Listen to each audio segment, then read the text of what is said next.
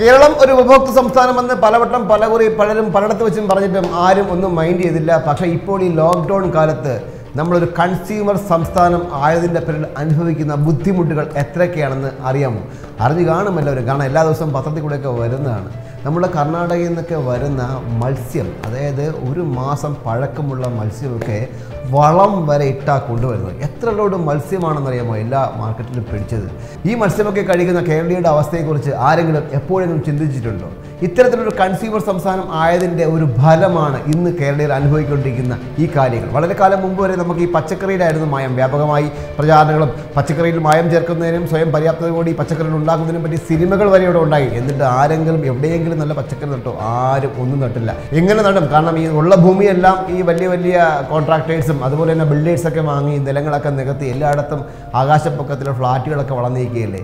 ഒന്ന് ചിന്തിച്ചാൽ അല്ലെങ്കിൽ ഒന്ന് പരിശോധിച്ചാൽ മനസ്സിലാവും. അല്ലെ പഴമക്കോട് ചോദിച്ചാലൊക്കെ മനസ്സിലാവും. പണ്ട് നമ്മൾ കളിച്ചിരുന്ന പറമ്പുകൾ അല്ലെങ്കിൽ കളിച്ചിരുന്ന ഈ വയലുകൾ അല്ലെങ്കിൽ നട്ടിരുന്ന വയലുകളും കാര്യങ്ങളും ഒക്കെ ഇപ്പോൾ എല്ലായിടത്തും പൊങ്ങി നിൽക്കുന്നത് എന്ന് പറയുക അമ്പരചുംബികളായ ഫ്ലാറ്റുകൾ മാത്രമാണ്. ഇത്തരത്തിൽ ഒരു പ്രൊഡക്ടിവിറ്റി എന്നൊരു സാധനം കേരളത്തിൽ ഇല്ലാതായതിന്റെ ഒരു ഫലമാണ് ഈ ലോക്ക്ഡൗൺ കാലത്ത് എല്ലാവരും അനുഭവിക്കുന്നത്. മത്സ്യം വാങ്ങാൻ പേടിക്കുന്ന ഒരവസ്ഥയിലേക്കൊക്കെ ജനങ്ങൾ പൊയ്ക്കൊണ്ടിരിക്കുകയാണ്. മത്സ്യവും പച്ചക്കറിയും മാത്രമല്ല കേരളത്തിൽ പ്രൊഡക്ഷനായിട്ടുള്ള ഒരു സാധനവുമില്ല. ആദ്യം നമുക്ക് ഉണ്ടായിരുന്നില്ലെന്ന് പറയുന്നില്ല. നമുക്കിവിടെ കയർ വ്യവസായം ഉണ്ടായിരുന്നു കശുവണ്ടി ഫാക്ടറികൾ ഉണ്ടായിരുന്നു. അങ്ങനെ തൊട്ട് തൊട്ട് ഒരുപാട് ചെറുകിട ചെറുകിട വ്യവസായങ്ങൾ ഉണ്ടായിരുന്നു എങ്ങനെയാണ് ഈ ചെറുകിട വ്യവസായങ്ങളൊക്കെ കേരളത്തിൽ അന്യം നിന്ന് പോയത്? എന്തുകൊണ്ടാണ് ഇത് ഇല്ലാണ്ടായത്? എന്തുകൊണ്ട് നെൽ സംഭരണം നെൽ കൃഷി ഉണ്ടായിരുന്നു? എന്തുകൊണ്ട് ഇപ്പം നെൽകൃഷി ഇല്ലാണ്ടായി? ഇപ്പോൾ പേരെടുത്ത് പറയാൻ വേണ്ടി ഒരു പാലക്കാടോ അല്ലെങ്കിൽ ഒരു ആലപ്പുഴയും മാത്രമേ ഉള്ളൂ നെൽകൃഷി. അങ്ങനെ ആയിരുന്നു പണ്ട്. പണ്ട് എല്ലായിടത്തും കൃഷിയില്ലാത്തൊരു സ്ഥലമില്ലായിരുന്നു. നെൽവയലുകൾ കൊണ്ട് സമ്പന്നമായിരുന്നു നമ്മുടെ നാട്. ഇപ്പം നെൽവയലുകളൊന്നും കാണാനില്ല. അതുപോലെ ചെറുകിട വ്യവസായങ്ങൾ ഒന്നും തന്നെ കാണാറില്ല. പിന്നെ ഇടയ്ക്ക് ഇതെല്ലാം മാറ്റി വെച്ചുകൊണ്ട് വന്ന സാധനമാണ് റബ്ബർ കൃഷി. റബ്ബർ കൃഷി നിലം നികത്തി വരെ റബ്ബർ വെച്ച് ആൾക്കാരൊക്കെ ഉണ്ട്. അവസാനം ഈ റബ്ബറിന്റെ അവസ്ഥയും നമ്മൾ കണ്ടതാണ്.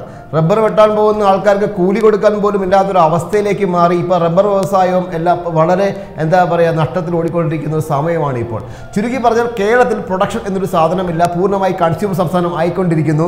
ഈ ലോക്ക്ഡൗൺ വന്നതോടുകൂടി പുറമേ നിന്നുള്ള ചരക്കുകളൊക്കെ നിലച്ചതോടുകൂടി നമ്മൾ എന്തുമാത്രം ബുദ്ധിമുട്ടിയെന്നും ജനങ്ങളെല്ലാം അറിഞ്ഞതാണ്. നമ്മുടെ കർണാടക നമ്മുടെ റോഡ് ഗതാഗതം നിരോധിച്ചതോടുകൂടി ആ മലബാർ മേഖലയിലൊക്കെ ചരക്ക് നീക്കൊക്കെ സ്തംഭിച്ചിട്ട് കാരണം അവരെല്ലാവരും ആശ്രയിക്കുന്നത് കർണാടക തമിഴ്നാട് പോലുള്ള സംസ്ഥാനങ്ങൾ. പച്ചക്കറി ആയാലും മരുന്നായാലും എന്തായാലും ഏത് നിത്യോപയോഗത്തിലുള്ള എന്ത് സാധനമായാലും ഈ തമിഴ്നാടിനെയും കർണാടകയും ആശ്രയിക്കാതെ വരെ നിവർത്തിയില്ലെന്ന സ്ഥിതിയിലേക്ക് കേരളം പൊയ്ക്കൊണ്ടിരിക്കുകയാണ്. അത് മാത്രമല്ല കാസർഗോഡുള്ള ആൾക്കാരൊക്കെ ചികിത്സയ്ക്ക് പോലും കർണാടകത്തെ ആശ്രയിക്കേണ്ട ഒരു ഗതികേട് വന്നു. കർണാടക ആ പാത അടച്ചോടുകൂടി അവിടെ എത്ര രോഗികളാണ് ചികിത്സ കിട്ടാതെ മരിച്ചത്? രണ്ടായിരത്തി പതിമൂന്നിൽ രണ്ടായിരത്തി പതിമൂന്നിൽ കാസർഗോഡ് ഒരു ആശുപത്രി പണിയാൻ വേണ്ടി യു ഡി എഫ് സർക്കാർ തറക്കല്ലിട്ടതാണ്. ഇപ്പോൾ ഏകദേശം രണ്ടായിരത്തി പതിമൂന്നിൽ രണ്ടായിരത്തി ഇരുപതായി ഇതുവരെ ആ ഹോസ്പിറ്റലിന്റെ പണി പൂർത്തിയാകുകയോ അത് പ്രവർത്തനം സജ്ജമാവുകയോ ചെയ്തിട്ടില്ല. ഇപ്പോൾ ഇതായി കോവിഡ് പത്തൊമ്പതൊക്കെ വന്നതിന് ശേഷം തട്ടിക്കൂട്ടി അതൊരു കോവിഡ് ആശുപത്രി ഒക്കെ പ്രഖ്യാപിച്ചിട്ടുണ്ട്.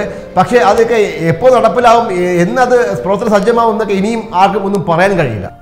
ഇടയ്ക്ക് ഇവിടെ ഈ ചെറുകിട വ്യവസായങ്ങളെയും അതുപോലെ തന്നെ കൃഷികളെയൊക്കെ പ്രോത്സാഹിപ്പിക്കാനായി ആഗ്രോ കോർപ്പറേഷൻ പോലുള്ള സാധനങ്ങളൊക്കെ ഇവിടെ വന്നു നിലവിൽ വന്നു. പക്ഷേ അതൊക്കെ അഴിമതിയിൽ മുങ്ങി അഴിമതിയുടെ കൂത്തരങ്ങായി മാറി എന്നതാണ് വാസ്തവം.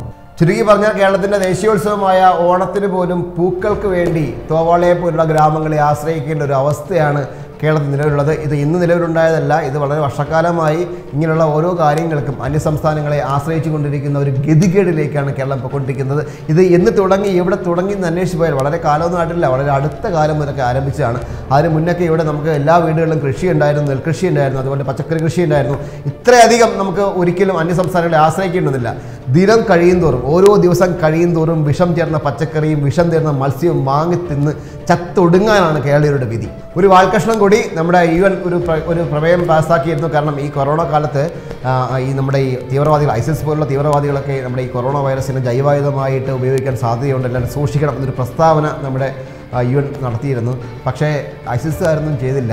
അവർ ഇത്തിരി അടങ്ങിയിരിക്കണം. അവർക്ക് പോലും ഒത്തിരി മനുഷ്യത്വം ഉണ്ടെന്നാണ് എനിക്ക് തോന്നുന്നത്. കാരണം എന്താ വെച്ചാൽ- വെച്ചാൽ ലോകം മൊത്തം ഇങ്ങനെ കൊറോണ വൈറസ് ഇങ്ങനെ ബാധിച്ചുകൊണ്ടിരിക്കുകയാണ്. കോവിഡ് പത്തൊമ്പത് അതിന്റെ സംഹാര താണ്ഡവമാടുകയാണ് ഇ എം പാറ്റകളെ പോലെ ആൾക്കാർ ചത്തൊടുങ്ങുകയാണ്. എനിക്ക് ആ സമയത്ത് ഐസിസുകാർ പോലും ഉണ്ടാതിരിക്കുന്ന സമയത്താണ് നമ്മുടെ പാകിസ്ഥാൻ നമ്മളെ കറി ചുമ്മാ അങ്ങ് ചുരണ്ടിയത്.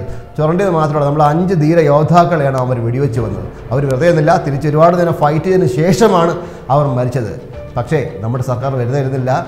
അടിക്ക് തിരിച്ചടി തന്നെ കൊടുത്തു നല്ല അടി തന്നെ കൊടുത്തു. ലഷ്കർ എ തൊയ്ബയുടെയൊക്കെ എന്താ പറയുക അവിടെ ഭീകര ക്യാമ്പുകളൊക്കെ ബോംബ് ഇട്ട് നശിപ്പിച്ചു കഴിഞ്ഞു. പത്ത് പതിനാറ് ഭീകരരെ കൊന്നു. ബാക്കിയുള്ളവരൊക്കെ ജീവനം കൊണ്ട് ഓടി. ഇതാണ് പറയുന്നത് തെറിക്കുത്തരം മുറിപ്പത്തൽ.